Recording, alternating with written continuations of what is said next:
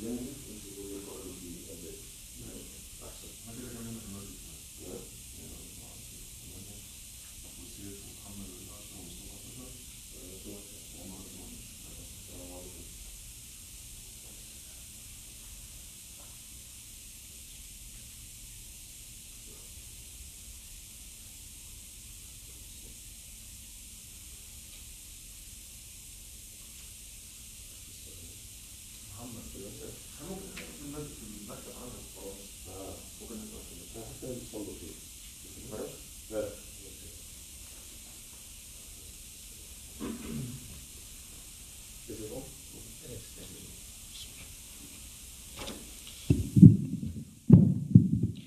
Assalamu alaikum wa rahmatullahi ta'ala wa barakatuh. Oh, Bro Muhammad, one minute, eh? Oh, please come, Bro Bakr, inshallah. Just one minute. Um, we are so happy and so um, thrilled that there is a brother who wants to take Shahada. He will be accepting Islam, and there is a ni'mah from Allah subhanahu wa ta'ala that this month of Ramadan we will start with uh, a new brother who will accept Shahada. So before we met, he has even chose um, a name for him, an Islamic name. And what is your name, brother? You said that you chose for yourself? Abu Bakr, Abu Bakr. And what's your real name? Clovis. Clovis. Allahu Akbar. So he is here, he's going to take Shahada, and by that, he is embracing Islam and he is considered to be part of our community and that is a blessing from Allah upon him and upon us uh, for him to be a Muslim. So, brother, what we'll say is that repeat after me what uh, I will say. So, Ashhadu an la ilaha illa Allah wa ashhadu anna Muhammadan رسول Allah. Allahu Akbar. Alhamdulillah, he has just taken the oath. Uh, he has just taken the uh, Shahada, meaning that he testified that none has the right to be worshipped except Allah. And he believes and testify that Muhammad sallallahu alaihi wasallam is the final messengers of Allah, and he will accept a way of Islam to be his way of life. And we are so happy for him. Inshallah, Jazakallahu kulla khair. You can have a seat. Inshallah, we can start with the Jummah. Inshallah. Bismillah. الله أكبر الله أكبر الله أكبر الله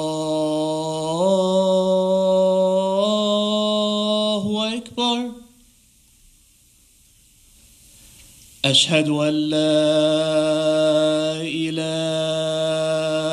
إلا الله.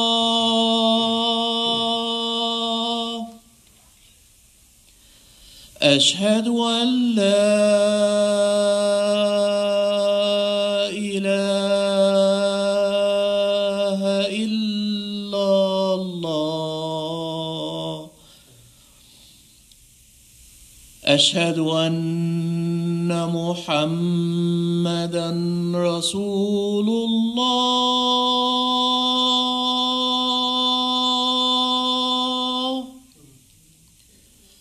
أشهد أن محمدا رسول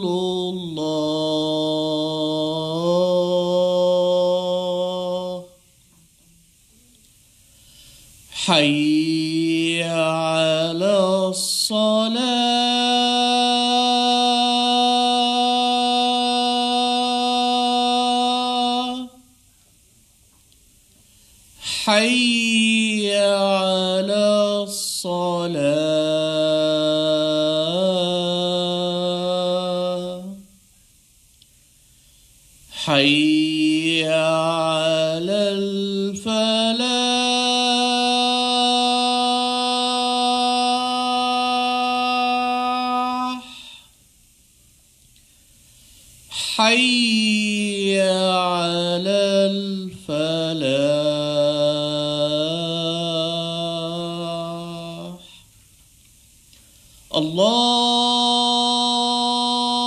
أكبر الله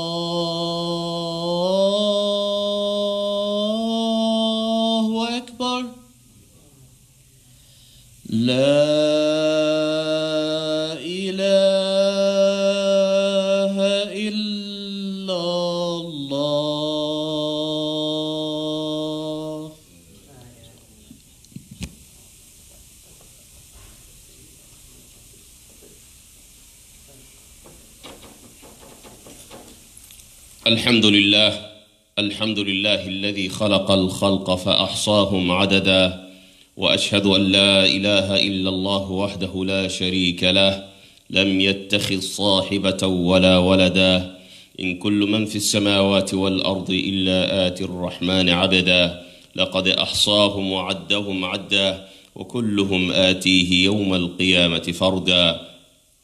وأشهد أن لا إله إلا الله وحده لا شريك له وأشهد أن نبينا ورسولنا محمد بن عبد الله بلغ الرسالة وأدى الأمانة ونصح الأمة وجاهد في الله حق جهاده وتركنا على المهجة البيضاء ليلها كنهارها لا يزيغ عنها إلا هالك. فصلوات ربي وسلامه عليه وعلى آله وصحبه ومن سار على نهجه إلى يوم الدين أما بعد All praise and thanks due to Allah subhanahu wa ta'ala and may the peace and blessings of Allah be upon Rasulullah sallallahu alayhi wa sallam. We thank Allah subhanahu wa ta'ala. We praise Allah subhanahu wa ta'ala for all his favors upon us. As Ummat al-Islam, we start this year Ramadan on Friday. There is a blessing in itself that Allah subhanahu wa ta'ala has chosen us to observe this month on Friday. We have to be thankful and grateful to Allah subhanahu wa ta'ala. Month of Ramadan, it is a month of school that we go through a training, spiritual training, where we will learn how to be conscious about Allah subhanahu wa ta'ala, how we can be closer to Allah subhanahu wa ta'ala, how we can have mindfulness about Allah subhanahu wa ta'ala. Allah subhanahu wa ta'ala says in the Holy Quran, when He prescribed it upon us to observe the fastings of the holy month of Ramadan, يا أيها الذين آمنوا كتب عليكم الصيام كما كتب على الذين من قبلكم لعلكم تتقون. That, oh, who you believe, uh, it has been prescribed it upon you to observe fasting as it was being prescribed it upon previous nations, لعلكم. And the reason for that, لعلكم, the reason for that, تتقون that you should fear Allah subhanahu wa ta'ala. You should have the consciousness about Allah. You should love Allah. You should love the prophets sent by Allah subhanahu wa ta'ala. Their message, you should love them. You should love the teachings of Prophet Muhammad sallallahu alayhi wa sallam. That is the main reasons of fasting. That this entire month, we will spend this entire month learning to know that there is Allah above us, that Allah sees what we do, Allah hears what we say. And that's why, as a Muslims, when you are at work and if they give you a tax, you will perform that tax, even if there's no supervisor on your shoulder watching you. Because why? You are telling yourself, you believe that indeed He is not here, my supervisor is not near me, but Allah subhanahu wa ta'ala sees me what I'm doing. So I will fulfill my duty accordingly in order to please Allah subhanahu wa ta'ala. You can go during the month of Ramadan, you can sneak out and go and break your fast, drink water at a coffee shop or Starbucks or any other place, coffee shop. But yet a Muslim will say that indeed I am not going to break my fast because no one might, no one know, uh, can see me now. But yet Allah subhanahu wa ta'ala knows what I'm doing. Allah subhanahu wa ta'ala is aware about my conditions. So I'm not going to break my fast because I fear Allah and I know very well that I'll be taken into account by Allah subhanahu wa ta'ala. So a Muslim, a good Muslims will abstain from eating or drinking throughout the day of the month of Ramadan. Even no one might see him breaking his fast, but he will say that I will not break my fast because my Lord who created me, provide me, sustain me, protect me, shower me with his mercies is observing me. So there is a month of training. spiritual journey that we are learning throughout, this will be applied by the rest of, applied by us throughout the rest of the month. We will apply what we're going to learn during this month and the rest of the month. You will not speak bad words.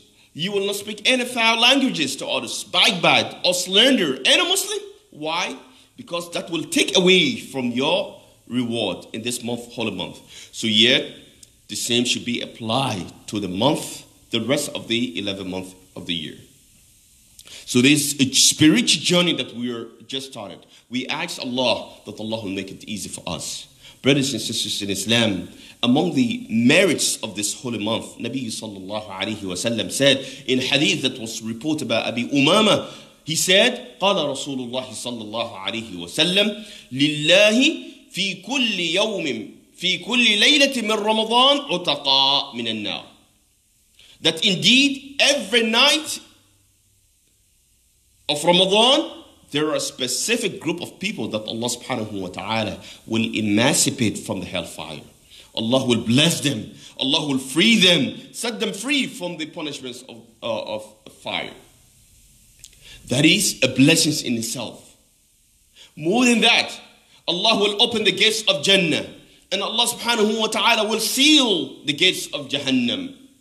And the rebellious jinn, maradat shayateen, Allah will chain them in order to give us the courage, the empowerment for us to observe fasting during the month of Ramadan, for us to observe good deeds during the month of Ramadan.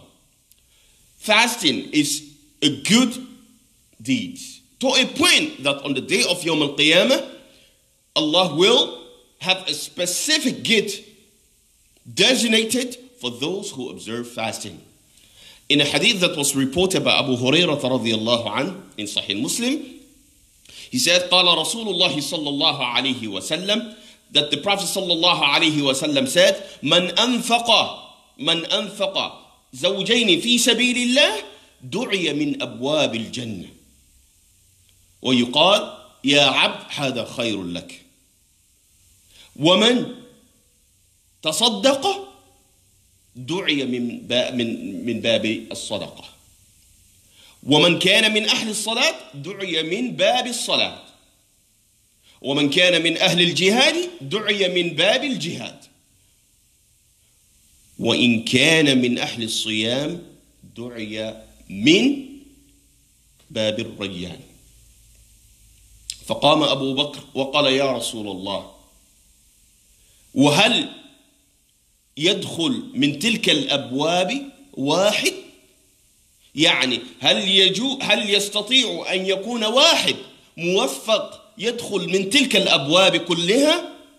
قال النبي صلى الله عليه وسلم نعم وأرجو أن تكون منهم.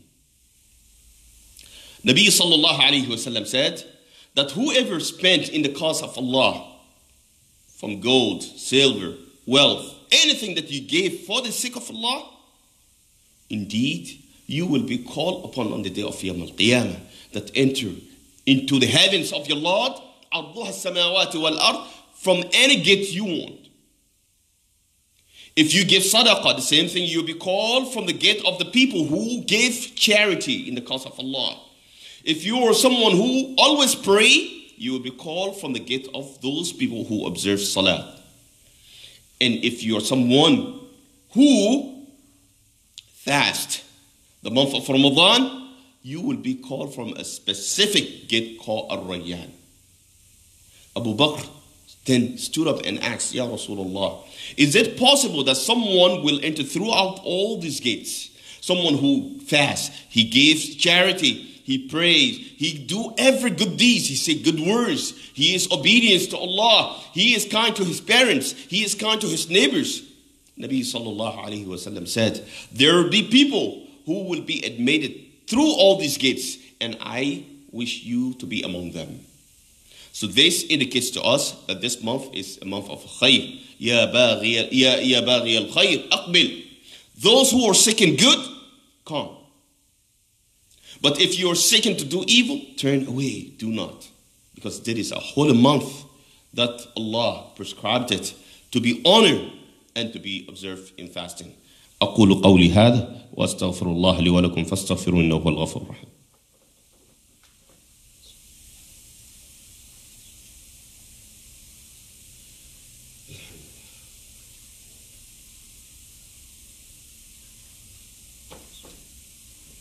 بسم الله الرحمن الرحيم الحمد لله والصلاة والسلام على رسوله الأمين أما بعد رسول الله صلى الله عليه وسلم in الحديث من قام من صام رمضان إيمانا واحتسابا غفر له ما تقدم من ذنبه ومن قام رمضان إيمانا واحتسابا غفر له ما تقدم من ذنبه وفي حديث آخر قال الله عز وجل ترك شرابه ترك طعامه وشرابه وشهوته من أجلي فالصوم لي وأنا أجزي به والحسنة بأشر أمثالها Rasulullah sallallahu alayhi wasallam said that whoever fast the month of Ramadan, you did everything that Allah commanded you to do. You read Quran, you fast the month of Ramadan, you are kind, you don't speak evil things, you don't backbite, you don't slander, you don't do anything that will take away from the ajr of your fasting. Allah subhanahu wa ta'ala said, You do that, you fast the month of Ramadan with faith, sincere faith, that Allah is the one who recommended you to fast the month of Ramadan, that Allah is the one who prescribed it upon you to observe fasting, and then you're seeking the reward from your Lord. You're seeking Jannah, you're seeking the pleasures of Allah, you're seeking glide tidings from your Lord. Indeed, what is going to be your reward? All your previous sins will be forgiven by Allah subhanahu wa ta'ala. That is just like our brother Abu Bakr. He just accepted Islam. When you accept Islam, Nabi sallallahu alayhi wasallam said that Islam yajubbu ma qablahu. All the sinful acts that you did before Islam, by taking Islam, by embracing Islam, Allah will look upon you with His mercy and emancipate you and forgive all your sins. So there is a ni'mah from Allah. There is a blessing from Allah. There is a tawfiq from Allah subhanahu wa ta'ala that we have a month of Ramadan, that the month of Ramadan is here. And alhamdulillah, there are a lot of wisdom behind this. We are fasting, observing fast from whom this year? If not, the masjid will be full. We will be here for Salat Taraweeh. We will be here for Qiyam al-Layl. We will be here for Iftar. But this time, because of the COVID-19, Allah in His hikmah meant for us together with our family. Everyone should learn at home to lead their family accordingly, according to the Islamic teachings. Everyone should learn, should learn, train themselves to teach their children, to teach their family how to pray, how to make dua, how to make supplication, invocations to Allah. And they should come together and break fast and share that love. If we all at home work hard upon ourselves, put more efforts in obeying Allah, in dhikr, remembrance Allah, loving Allah, reading the Quran, making dua, making invocations, loving one another, staying away from all those things that Allah says that we should stay away from, harming others, being cruel to others, backbiting, slandering, then when we all gathered again in the masjid of Allah, we will be more stronger and more powerful. And we will be at the next level of spiritual strength that Allah recommend upon, uh, upon us. So again, it is a time that we should repent to Allah. We should go back to Allah. We should say, we, we should make dhikr. We should pray. We should love one another. We should love our family. We should forgive one another. We should love one another. And then we should show kindness. The best of you, show that to your neighbors. And then we will be on the right path. We ask Allah subhanahu wa ta'ala that Allah will accept this month, that Allah will accept our month from us saliman, and we will be among those people that the siyam will be mutaqabbala, that will be accepted by Allah subhanahu wa ta'ala. We thank Allah, we praise Allah for His ni'mah upon the ummah. We ask Allah subhanahu wa ta'ala that Allah subhanahu wa ta'ala will shower us with His mercy. We ask Allah subhanahu wa ta'ala that Allah will give us exit in all hardship. We ask Allah subhanahu wa ta'ala that Allah will bless our family, bless our children, bless our wife. We ask Allah subhanahu wa ta'ala that Allah would give Jannah to all the deceased. Muslimin, we ask Allah subhanahu wa ta'ala that Allah will rank them among the salihin, the righteous people. We ask Allah subhanahu wa ta'ala to give us the best in this life and the best in the hereafter. We ask Allah subhanahu wa ta'ala that we will be guided with Nur al-Quran, with Nur Sunnah of Nabi sallallahu alayhi wa sallam. اللهم تقبل منا صيامنا وقيامنا ودعاءنا وركوعنا اللهم استر عيوبنا وآمن روعاتنا. اللهم احفظنا بالإسلام. اللهم احفظنا بالإسلام. اللهم اجعل لنا نورا. اللهم اجعل لنا نورا وزد لنا نورا. اللهم إنا نسألك بأسمائك الحسنى وصفاتك العلى أن تغفر لنا ذنوبنا كله اللهم لا تردنا خائبين ولا تردنا ضالين ولا مضلين ولا ضالين ولا مضلين. برحمتك يا أرحم الراحمين. هذا وصل اللهم على نبينا محمد وآخر دعوانا أن الحمد لله رب العالمين. أقم الصلاة.